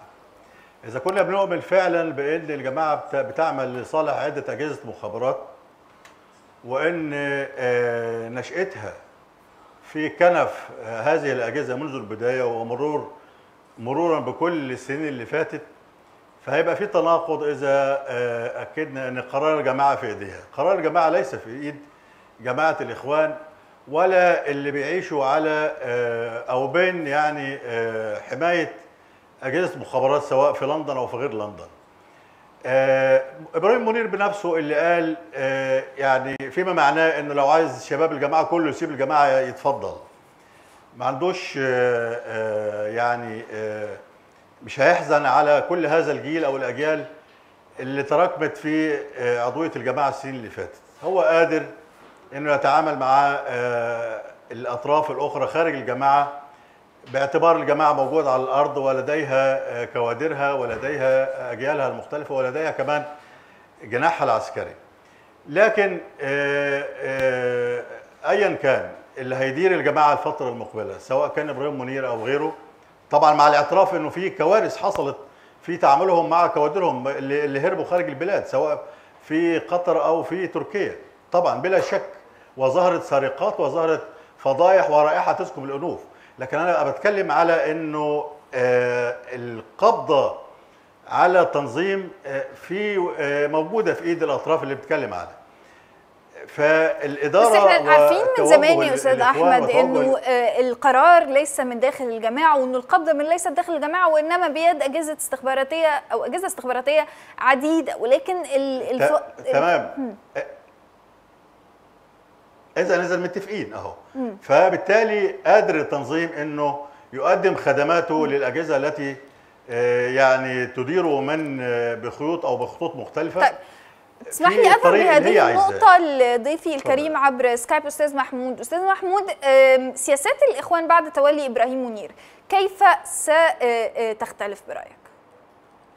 في الحقيقة إحنا قدام آه، انقسام رئيسي بشكل أفقي وبشكل عرضي داخل جماعة الإخوان اللي يمكن دلوقتي ويمكن لأول مرة منذ تأسيسها لا يصبح لديها فرعا في مصر ولا مكتب يدير آه، شؤونها. آه. والمرشد المعني بإنه يدير أمورها موجود في لندن وده لأول مرة يحصل خارج مصر منذ تأسيس هذه الجامعة ولم يكن حتى أي حد يتوقع بقى حتى بعد القبض على إبراهيم آه، نعم آه، محمود عزت كان الكل بيقول إنه لا يمكن يكون الاختيار من خارج مصر لأن ده عمرها ما حصلت فعلا. ده صحيح. وال... ويمكن ال- الأزمة الرئيسية اللي عايشها اللي عايشها التنظيم دلوقتي إنه مش قادر يقنع آه، بقية القيادات اللي موجودة وجيل الوسط وجيل الشباب باسم إبراهيم منير. آه. ويمكن لأول مرة يتعين مرشد أو يتقال إن في شخص تولى مسؤولية المرشد ولا يظهر من يبايعه أو يؤكد أو يدعم موقفه. ما لم يظهر أي شخصية إخوانية كبيرة آه، يقوم بدعم هذا الرجل آه، الفرع اللي موجود في الدوحة آه، حتى هذه اللحظة صامت تماما. القرضاوي لم يظهر أي تعليق على هذا الأمر. في نفس الوقت عصامة الليمة اللي كان سكرتير للقرضاوي ومتواجد الآن في اسطنبول يتولى جبهة معارضة قوية جدا ويتحدث مع شباب الإخوان ومع الشباب اللي يمكن جمد عضويته داخل التنظيم عن أنه رافض وجود إبراهيم منير وتتحدث عن فضائح بعضها أخلاقي وبعضها آه، مالي. كل هذه الأشياء بتدينا مؤشر على أنه هناك انفجارا يحدث داخل هذه الجماعة أن هذه الجماعة الآن تعيش حالة من حالات الاحتضار لأنه آه، هيكليا لا يوجد إجماع على من يقود هذه الجماعة وبالتالي لا يمكن التعويل على أي قرار يمكن أن تتخذه في المستقبل. فبالتالي إحنا الآن أمام صراع له بعد مالي له بعد تنظيمي وله بعد أيضا معنوي لأنه لا يوجد إجماع حول القيادة التي تدير أمور هذه الجماعة الآن. هل ده معناه إن إحنا نتوقع نشاط أكبر للتنظيم الدولي على حساب التنظيم في الداخل؟ تحديدا إن إحنا بقالنا فترة أم، كل كل من هم متخصصين فيما يتعلق باعمال الجماعة الإرهابية بيقال إنه في الفترة الأخيرة تحديدا كان عمل اجتماعي له علاقة بأهالي المسجونين له علاقة بأهالي الهاربين وتهريب عناصر وليس له علاقة بالعمل الحقيقي يعني لهذه الجماعة على الأقل من داخل مصر. أظن ان الجماعة الآن تعيش حالة من حياة اليأس إنها ممكن أن تستعيد مرة أخرى التنظيم داخل مصر وربما الضربات الأمنية القوية والناجحة والتي وصلت إلى محمود عزت مؤخرا وقدرت إنها تضعه في قبضة العدالة ويتم محاكمته مع قيادات أخرى. آه، إدى آه، يعني أشعر الجماعة باليأس الشديد إنها تستطيع مرة أخرى أن تستعيد كوادرها التنظيمية وشكلها التنظيمي داخل مصر. فلجأت إلى آه، الخارج. ثم آه، إنه في داخل الجماعة الآن هناك صراعات قد تصل إلى مستوى التفرقة أو ظهور جماعات جديدة من داخل تنظيم آه، من من داخل هذا التنظيم. وهذه الجماعات ستكون مستقلة بقياداتها ومستقلة بتنظيماتها وربما يقف وراءها أجهزة استخبارات تعمل الآن لاستخدام هذه الجماعة لتنفيذ أغراضها. نحن نرى الآن استخدام من تركيا استخدام من قطر محاولات آه، والإيحاء بأن هناك عمليات تسليم قد وتاريخيا بريطانيا. أستاذ محمود. بالقطع طبعا تاريخيا بريطانيا وربما يعني آه، وجود إبراهيم منير في بريطانيا يقول أن الجماعه تعود مرة أخرى إلى حاضنتها الج- الجنينية يعني أو حاضنتها ال- الأساسية أو خليني الحاضنه خليني بعد إذنك يا أستاذ محمود أروح بنقطة هامه حضرتك ذكرتها عن عصام تليمة. أستاذ أحمد آه، ما الذي دفع تحديدا عصام تليمة القيادي الإخواني بتوجيه اتهامات عنيفة؟ الحقيقة لمحمود حسين أمين عام الجماعة الهارب في تركيا إبراهيم منير القائم بأعمال المرشد العام حاليا محمود الإبياري وهو متحدث باسم آه، المكتب في لندن والتنظيم الدولي بأن هم المسؤولين عن سقوط آه، محمود عزت آه، بسبب آه، التواصل معه بشكل أو بآخر. رأيك إيه في النقطة دي؟ بص أنا خلينا ننظم كلامنا في عدة آه، يعني مساحات. ال- المساحة الأولى إنه إحنا اعترفنا بلا شك إنه في خلافات كبيرة في صفوف الإخوان خارج مصر خصوصا المجموعة الموجودة في تركيا. قلنا في فساد وقلنا في عمليات حصول على أموال لأطراف بعيدا عن أطراف تانية وفي فريق عايش في مشاكل في الإقامة ومشاكل في الإنفاق وفي مشاكل في المعيشة. مش بننكر ده. لكن آه، أنا عايز أقول لحضرتك إنه هذا التنظيم وطبعا إحنا عندنا أجهزة عاملة يعني نجاحات هائله في مواجهة التنظيم وفي جهد خرافي مبذول. من اجهزه الامن وغير أجهزة الامن جوه مصر وخارج مصر لكن آه، أنا عايز بس نرجع بالتاريخ في 25 فبراير آه، 45 لما قتلوا أحمد ماهر باشا ضربات يعني عنيفة ضد الجماعة بعد ما يعني آه، حتى آه، لما اتقال إنه محمود العسوي مش بينتمي للجماعة وقامت الجماعة مرة أخرى.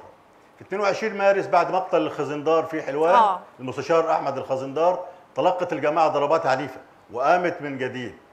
في 15 نوفمبر بعد ضبط قضية آه، أو حادث السيارة الجيب أحمد عادل كمال ومصطفى مشهور وآخرين اللي بلغ عددهم 34 متهم تعرضت الجماعة لضربات عنيفة وقامت من جديد. في 13 يناير 1949 لما آه، في قضية شفيق إبراهيم أنس في حادث ناس في محكمة استئناف القاهرة تعرضت الجماعة لضربات عنيفة وقامت من جديد. عايز أقول لحضرتك في الفترة من 49 لغاية 23 يوليو 52 لما قامت الثورة استطاع التنظيم إعادة بناء نفسه من جديد. لغاية ما قام بجريمته في آه، 54 في حادث المنشية فضلت الأمور تمشي لحادث تنظيم سيد قطب 65 اللي ضبط في التنظيم يا أستاذة لما في حدود 260 متهم لما توفى جمال عبد الناصر سنة 70 تقريبا ما كانش في حد من الجماعة خارج السجون غير المجموعة اللي بنتكلم عليها اللي هي بالمئات. لكن اكتشفنا بعد كده ورغم وجود عمر التلمساني مرشد إن كان في مرشد خفي استمر آه. أربع سنين والدولة ما تعرفش.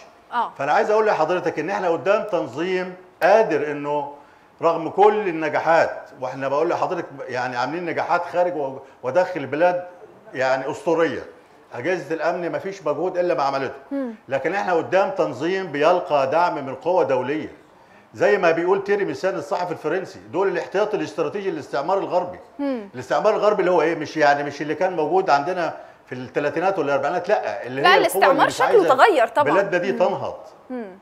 بالظبط كده اللي هي مش عايزة بلادنا تنهض مم. بقى بأي بأي طريقة يعني لا تنهض اقتصاديا ولا تقوى تتماسك اجتماعيا ولا يبقى ليها إرادة سياسيه ولا ولا تب ولا ت... وعايزة توقف اللي بيحصل في مصر النهارده فهذه القوى لن تتخلى عن الإخوان. عايز أقول لحضرتك حاجة تانية.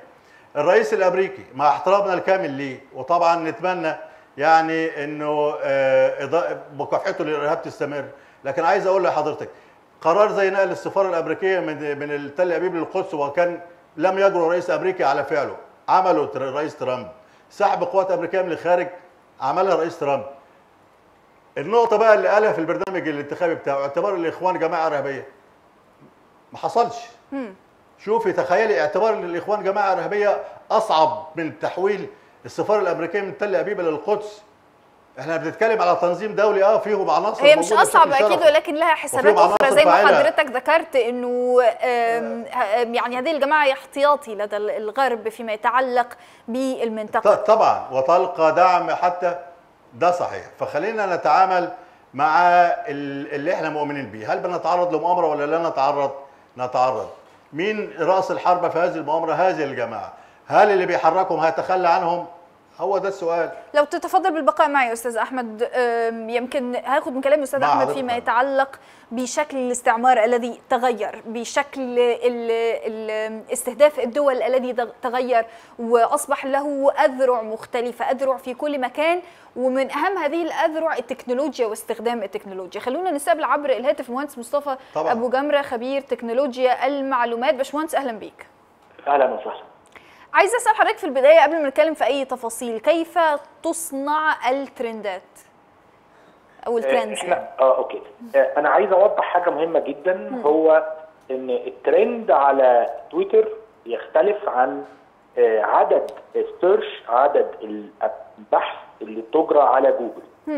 آه، آه، آه، الفيسبوك مش عامل ترند وطبعا إحنا عارفين إن تويتر آه، شبكة قليلة الاستخدام إذا ما قورنت آه، بالفيسبوك أو بجوجل. آه، ويمكن أنا بعت لل- للزملاء في الإعداد فيديو بيبين الأعداد في اليوم الواحد بالنسبة لتويتر وبالنسبة لجوجل وبالنسبة للفيسبوك.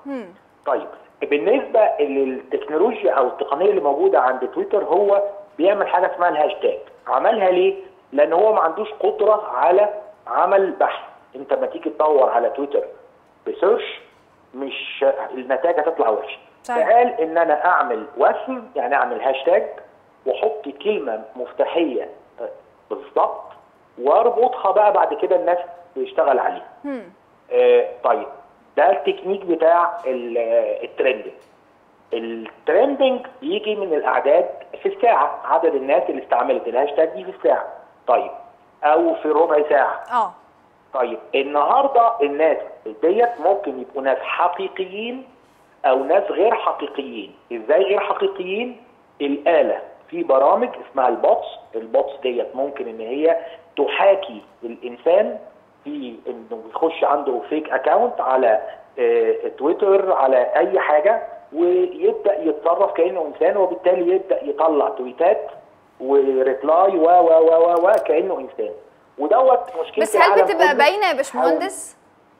اتفضلي. هل بتبقى باينة ال- التزييف اللي بيحصل ده من خلال برامج ممكن ممكن أعرف إذا كان ده مزيف ولا لأ أنا ك أنا كمستخدم مش. هقدر يكون آه. عندي الخبرة ديت لكن العاملين في المجال يقدروا طبعا المنصات ذات نفسها آه، بتكافح الموضوع دوت بشكل عنيف بتكافح ال fake account وبتكافح ال fake news الأخبار المزيفة والاكونتات المزيفة آه، فبالتالي أنا النهارده اللي بيطلع على تويتر أساسا لا يمثل الشعب لأن إحنا المصريين موجودين على الفيسبوك والقلة القليلة اللي موجودة على تويتر. إذا ما قورنت اللي موجودة على تويتر.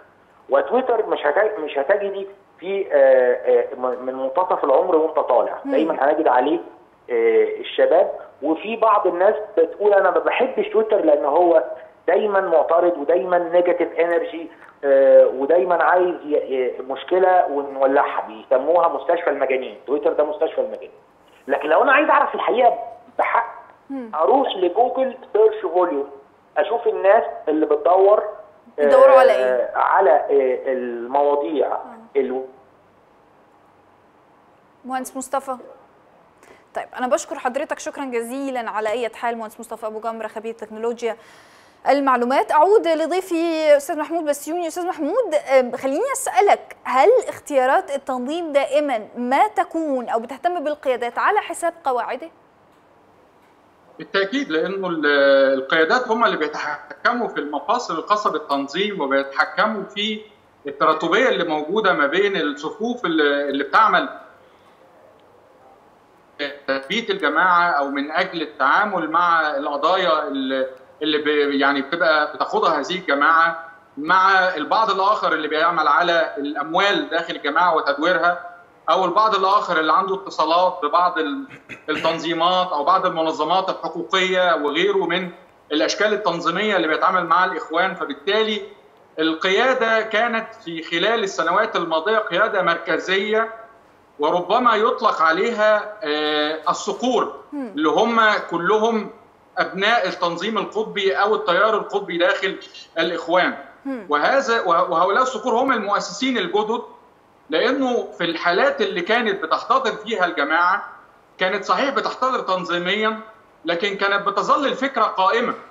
وده يمكن يشبه كثيرا الشكل اللي إحنا بنشوفه الآن. لأنه ما نراه الآن هو احتضار تنظيمي لكن تظل الفكرة قائمة. وربما آه، يعني يحدث مرة أخرى أن تجتمع ويعني تعود بشكل جديد. ولكن خليني أقول لحضرتك إنه في لحظات الاحتضار التنظيمي بيبقى في عندنا انقسامات داخلية.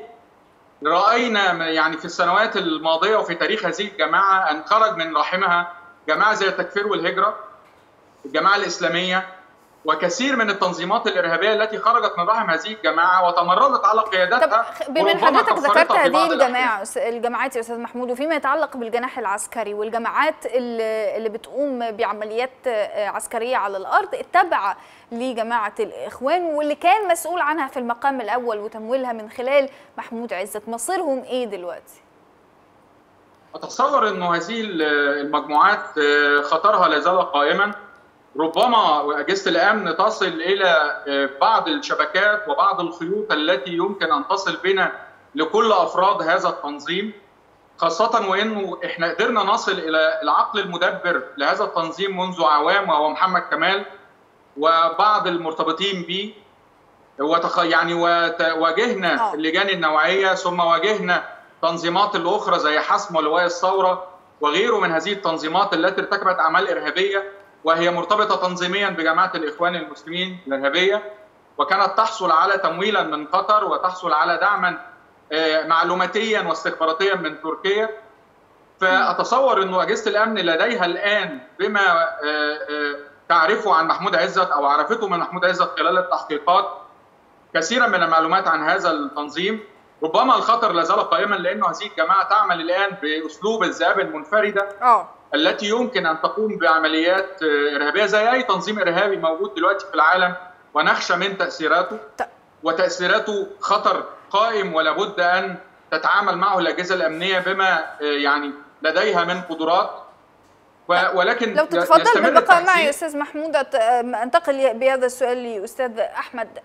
أستاذ أحمد يمكن في البداية كنا بنتكلم عن فكرة تبادل الاتهامات بالعمالة والخيانة للأجنحة المختلفة من هذه الجماعه بالنسبة لي فيما يتعلق بالقيادات والشباب هل تتوقع آه، حدوث أي شكل من أشكال التمرد تحديدا بعد تصريحات إبراهيم منير الأخيرة اللي أكيد أو أثارت آم، آم، جدل وغضب كبير لدى شرائح الشباب تحديدا؟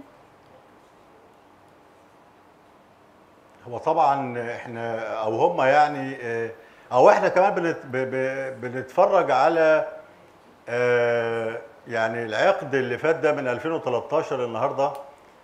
ربما تبقى أسوأ سنوات الجماعة وإحنا بن- بن- بنتفرج على آه، مهازل آه، حاصله سواء في قطر أو في تركيا.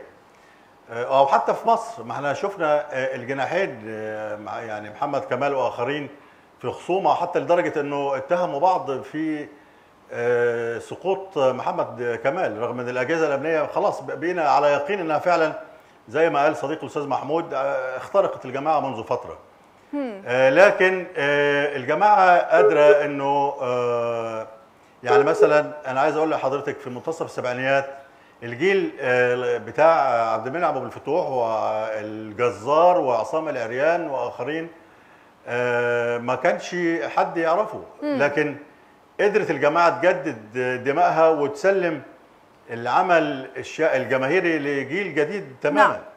صحيح كان عبء على اجهزه الأمن زي ما هو عبء النهارده لكن قادرة اجهزتنا إنها تتعامل آه، بكل قوة. نعم. الخلاصة إيه؟ الخلاصة اللي أنا عايز أقولها. إنه لازم نبقى على يقين إن إحنا بنتعامل مع عدو شرس. اللي في الواجهه ده وتركيا حتى تركيا وقطر دول بيقوموا بدور وظيفي دول وكلاء وليس وصلاء في الأصلاء بقى اللي هم اللي إحنا بنتكلم عليهم وبنقصدهم بفكرة المؤامرة إن دول اللي مش عايزين دولة متقدمة وقوية في هذه المنطقة. نعم. دولة قوية وفي هذه المنطقة ومتقدمة خطر على مشاريعها. مشاريعها الدائمة من القرن الماضي حتى. من من ساعة مؤتمر كامبل بن نرمان 1905 نعم. فإحنا قدام مؤامرة جيل جيل من المتآمرين بيسلمها إلى جيل آخر من المتآمرين. نعم. علينا نبقى بس واعيين وشعبنا يبقى عارف هو بيحارب مين. مش مش المجرمين أو أنا اسف في التعبير يعني الجرابيع اللي إحنا شايفينهم. دول كلهم يعني أدوات. آه، آه، أنفار في المؤامرة. أدوات في المؤامرة تقدر تسميهم أي حاجة. لكن لازم شعبنا يبقى عارف ونخبتنا تبقى عارفة وإعلامنا يبقى عارف طبعا أنتوا قايمين بدور محترم إن إحنا بنتعامل مع آه، يعني عدو خطير جدا. لا يريد خيرا لبلدنا على الإطلاق. شكرا جزيلا لحضرتك عبر الأقمار الصناعية الكاتب الصحفي والمحلل السياسي أستاذ أحمد رفعت. طبعا شكري موصول لضيفي الكريم عبر سكايب أستاذ محمود بسيوني الباحث بالمركز المصري للفكر والدراسات الاستراتيجية على كل هذه المعلومات. خلونا نتحول للفقرة الأخيرة الليلة مع لقائي المتجدد مع ضيفي الكريم. كل يوم أربعة الصحفي أستاذ الكاتب الصحفي أستاذ عبد الحليم أنديل. النهاردة نفتح ملفات كتيرة متعلقة بجماعة الإخوان اللي بقت محاصرة من كل الجهات في أوروبا فرنسا بتفتح بتحقيق بشأن المعهد الأوروبي للعلوم واللي كان بمثابة بوابة لنشر الفكر المتطرف. مجلس العموم البريطاني في حاليا تحركات مكثفة ضد الفكر المتطرف. فهل تفعلها بريطانيا واللي هي تمثل حاليا معقل هام جدا للإخوان في أوروبا؟ كمان نفتكر مع بعض السنة السوداء اللي عشناها كلنا في هذا الحكم. خلونا نستقبل أستاذ عبد الحليم أنديل. أهلا بحضرتك يا فندم. أهلا وسهلا. خليني أبدأ مع حضرتك بتصريحات الرئيس النهارده عن المشككين في قرارات الدولة وإجراءاتها. إلى ماذا أو بيهدفوا لإيه يا أستاذ أنديل هؤلاء المشككين اللي الرئيس وصفهم بهذا الوصف تحديدا؟ يعني أظن أن هذا التشكيك لن يتوقف قريبا. هم. لأنه ببساطة شديدة جدا آه، هؤلاء يحسون أن لهم ثأرا مع الدولة المصرية هم. ثم امتد ثأر هؤلاء إلى يعني أجهزة مخابرات معروفة من تركيا إلى مليارات قطر إلى جهاز المخابرات البريطاني الخارجي إلى حتى آه، بعض نشاط للسي آي إي هذه الدول خاصة الدول الغربية لا تقطع صلتها أبدا بأي كيان في العالم المفعول به وهم يظنوننا كذلك ضمن هذا العالم. نعم. ومن ثم فإن التعويل على أي أوهام من نوع أن تسلك بريطانيا كما ذكرت في مجلس العموم أو في غيره سلوكا ينتهي بها. ببريطانيا إلى تصنيف الإخوان كجماعة إرهابية أنا أعتقد أن هذا نوع من الوهم الكبير. وقد جرت تجربة قبل سنوات وأعد تقرير قال والله آه، الإخوان إرهابيون لكن في بعض الأجنحة إرهابية لكن أجنحة أخرى سلمية وإلى آخره هم. علينا أن نتذكر أن المخابرات البريطانية بالذات وهي ذات علاقة أصولية إنجاز التعبير بجماعة الإخوان منذ تبرع شركة قناة السويس البريطانية الفرنسية ب 500 جنيه لجماعة الإخوان وقت إنشائها نعم. إلى آه، ما جرى من إعادة تواصل مع اتفاقية الجلاء في 1954 إلى أن وصل الأمر إلى أن جهاز المخابرات البريطانية كان يصدر بيانات باللغة العربية باسم جماعة الإخوان ويتولى توزيعها كما كشفت وثائق أذاعتها هيئة الإذاعة البريطانية البي بي سي قبل شهور. نعم. ما أريد أن أقوله أن هذا التشكيك لن يتوقف لكن الأهم من متابعة هذا التشكيك وهي واجبة أن نتابع سيرنا لأنه كل سير وكل عمل يمكن أن ينطوي على طب قبل ما انتقل من هذا المحور يا أستاذ مسألة. التشكيك دي مسألة مرهقة جدا بالنسبة لأي مواطن. فكرة إن أنا شايف معلومة ومعلومة عكسها إيه أفضل طرق الرد هل رأي حضرتك إنه أنا أطلع أرد دائما على كل ما يتم التشكيك فيه من بقى أرقام وحقائق ولا الفعل العملي هو يعني التعامل هنا يكون إزاي؟ نحن نعيش في عالم مفتوح كما هو معروف. نعم. في تقدم هائل في وسائل الاتصال. موبايل كل فرد أصبح هو تلفزيونه وإذاعته ويمكن أن يلعب دور المنشئ والمرسل لا المتلقي فقط. هذا معناه ببساطة أنه لا يمكن أن نتوقف فقط أو أن نقصر عملنا على متابعة ما يذيعونه من إشاعات أو تلفيقات أو أخبار مجتزأة أو محرفة أو حتى مختلقة. أفضل ما يطرد الإشاعة هو الحقيقة. أفضل ما يهزم الإعلام المعادي هو إنه إعلامنا يبقى عنوانه الحقيقة دي تواصل أكبر مع الناس في الشارع وإخلاص أكبر للحقيقة وحدها لأن الحقيقة في كل الأحوال سوف تنتصر. أما محاولة تحويل إعلامنا لمجرد نسخة نيجاتيف من الإعلام المعادي يعني أن تقول العكس فأنا أعتقد أن هذا في بعض ضروبه وببعض أنواعه يخدم الإعلام المعادي من حيث لا نحتسب. إذ أنه يصور الإخوان كما تذهب بعض التناولات الإعلامية في بلادنا كجماعة لا يعني مطلقة القدرة قادرة على فعل أي شيء في أي زمان وفي أي مكان. وإذا جهلت عدوك وإذا حولته إلى أسطورة فسوف تفشل بالتأكيد تهزم معنويا قبل أن تهزم ميدانيا في المواجهة. طيب حضرتك ذكرت إنه أتحول بحضرتك لملف آخر أو محور آخر. فكرة إنه تحرك لمجلس العموم البريطاني ضد ضد هذه الجماعة بما إنها علاقة أصولية يعني هاخد من كلام حضرتك هو هو فكر يعني به الكثير من الوهم ولن يحدث. ولكن هل تتوقع إجراء قريب من من جانب الأوروبي على بالرغم من كل ما فيه من مشاغل وبعض ال- الملفات الهامة والصعبة عليهم في هذا التوقيت؟ على سبيل المثال المعهد الأوروبي للعلوم الإنسانية ويمكن كان بمثابة بوابة لنشر الفكر المتطرف. هل أي خطوات برأيك ستؤخذ في هذا الإطار؟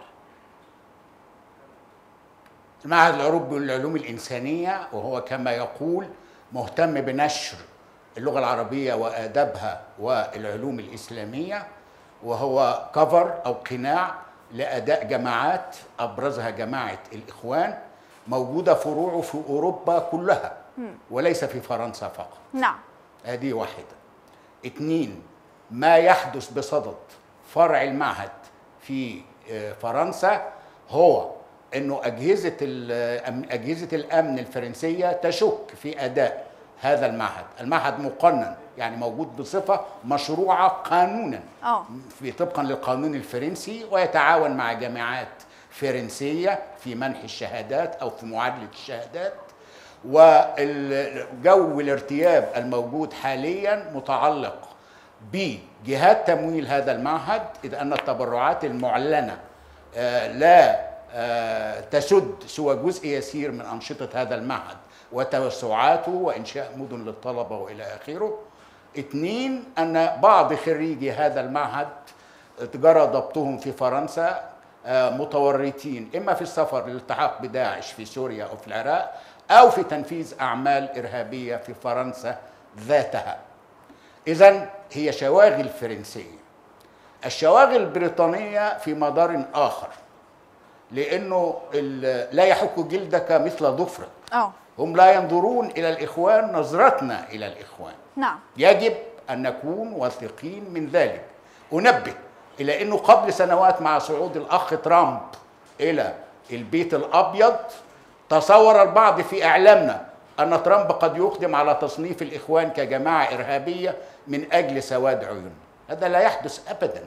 يعني هذه الدول لها سياسات ثابتة وخطط ثابتة ولا تهمل خيطا فيما يتصورونه لعبة العرائس على مسرح المنطقة هل هذه السياسات متعلقة ف- آه، بمصالح هذه الدول فيما يتعلق بمنطقتنا طبعاً. أم متعلقة فقط بمصالح هذه آه، طبعاً. الدول بغض النظر عن تأثير ذلك على هذه المنطقة؟ لا يتعلق بمصالح هذه الدول في منطقتنا وفي غير منطقتنا هم. بمعنى أكثر وضوحا آه أكثر ما ذهبت إليه بريطانيا وأمريكا هي أن صنفت جماعة حسم وما يسمى لواء الثورة وهي أسماء متداخلة مم. لبعض المجموعات الإرهابية الصغيرة الم- المرتبطة بجماعة الإخوان صنفت هؤلاء كجماعة إرهابية. لاحظي إنه بعد هذا التصنيف اختفى آه الاسم اختفى الإسمان لأنه الأصل قائم آه. هنا ال- التصور قايم على فكرة بسيطة جدا. كيف يمكن حكم هذه المنطقة من خلال آه، سبل أكثر يسرا؟ هناك تصور أمريكي معلن من سنوات من خلال الثينك تانكس أو مراكز التفكير يقوم على أنه الإخوان خيارنا في المنطقة لأنهم حسب زعمهم جماعة معتدلة يمكن أن تقلص نفوذ الجماعات المتشددة التي تواجه إسرائيل تحديدا. اثنين هم أيضا آه، سوف يحصلون على الأغلبية في أي انتخابات بطريقة أوتوماتيكية أو ميكانيكية. ومن ثم فإن الأفضل أن نستخدمهم هل ما زال ده واقعي أستاذ أنديل؟ قد تكون عليهم آه، وجوه قصور. هل هل ما زال هذا واقعي آه. أم لا؟ كان رأيي. كان رأيي المعلن منذ فترة طويلة جدا أولا أن شعبية الإخوان شعبية طفحية طفحية يعني إيه؟ مم. زي الطفح الجلدي يعني هي مرتبطة بسيرة مرض معين في تطور المجتمع اتنين إنه آه، فكرة أن جماعة الإخوان جماعة معتدلة فهي تطرد التشدد العنيف من جهة أخرى ثبت أيضا فسادها لأنه في دعشنة هائلة في أوساط شباب الإخوان وعلينا أن ندرك إنه حتى مع التمزق التنظيمي أو الاحتضار التنظيمي أو الانشقاقات التنظيمية علينا أن ندرك أن الاتجاه للعنف سوف يزداد لن يقل. آه، الأمر مر... هنا التجارب التي جرت في المنطقة تؤكد وجهة نظري فيما أتصور. على سبيل المثال في تونس الإجابة تونس. آه، آه، جماعة آه، حركة النهضة المرتبطة بالإخوان حكمت شاركت في كل الحكومات من 2011 إلى اليوم. ولم يثبت ابدا أن شعبيتها ميكانيكية.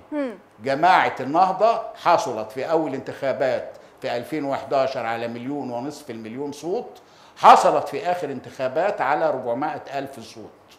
اتنين جماعة الإخوان النهضة آه، بين قوسين في تونس لم تطرد جماعات التشدد أو لم تخفف من. وطأتها والدليل أن تونس الصغيرة التي يكاد لا يكاد يصل عدد سكانها إلى 10 ملايين أو أكثر قليلا هي أكبر مصدر للدواعش في العالم كله.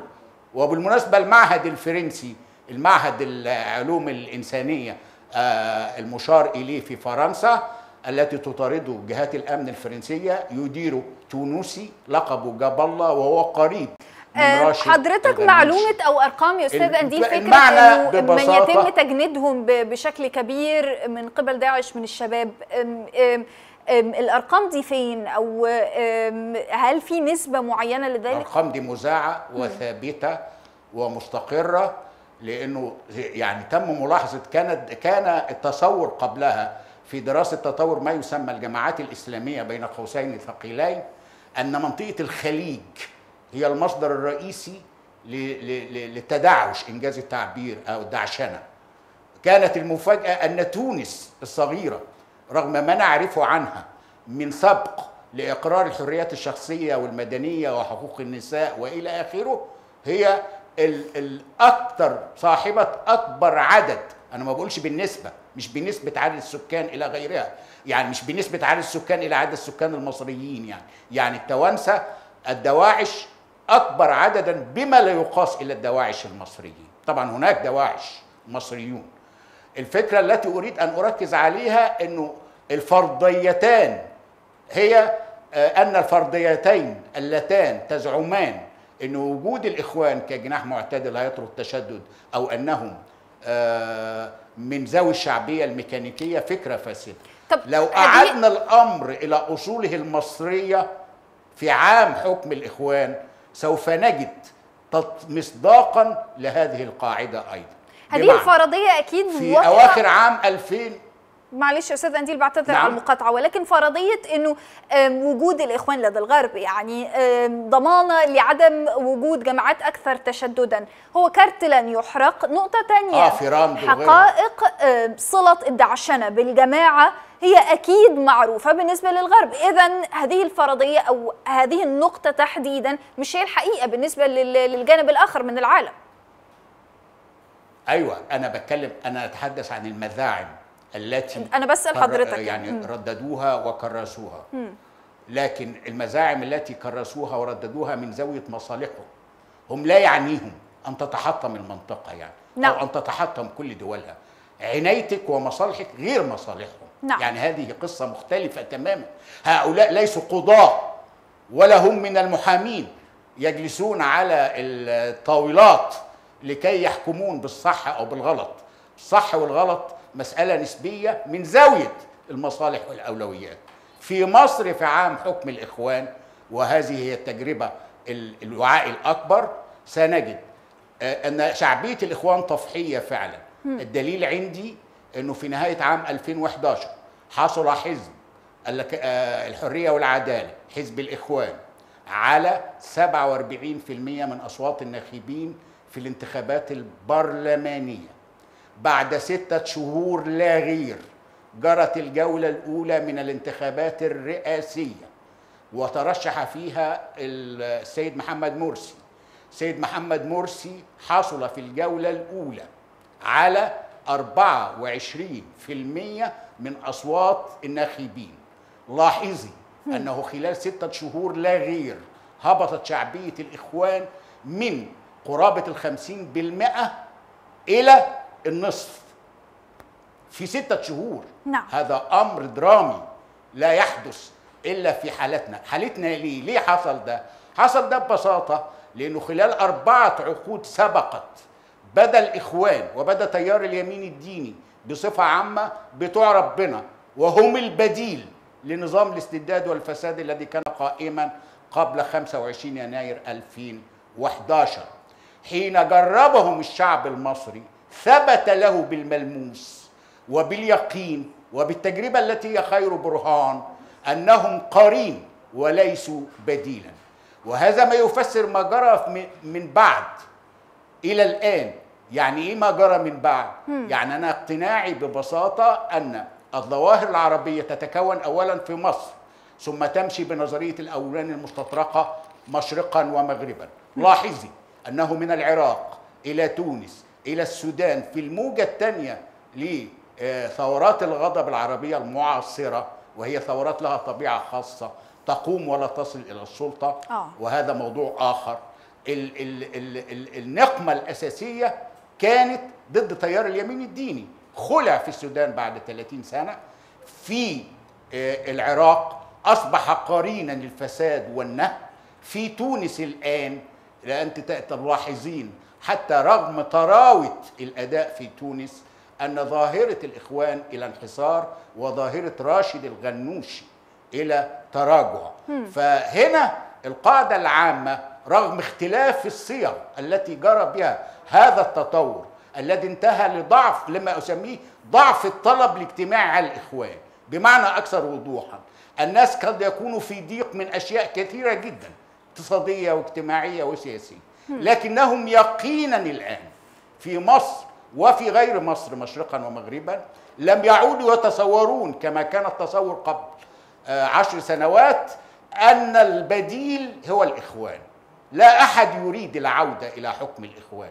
كان حكم الإخوان على ما انطقوا عليه من محنة نعمة كبيرة جدا لأنه اختصر كثيرا من المناقشات.